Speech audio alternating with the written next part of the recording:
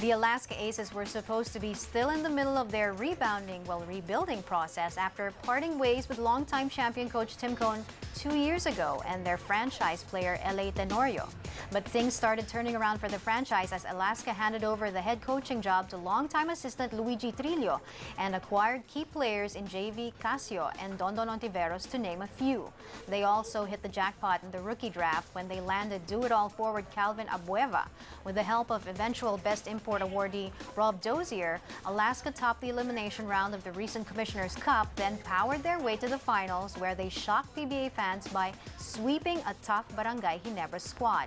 In fact, during the match, the Congrats Alaska hashtag trended online. It's really a collective effort from the, the team to pahirapan si Ellie.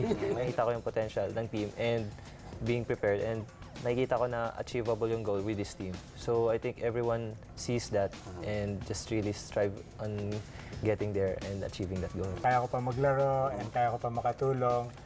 Pero, I mean, hindi ako nagulat na umabot kami sa semis eh. I mean, sa tingin ko, with the group that we have, parang kaya talaga namin eh. Hindi siya nagmamayabang.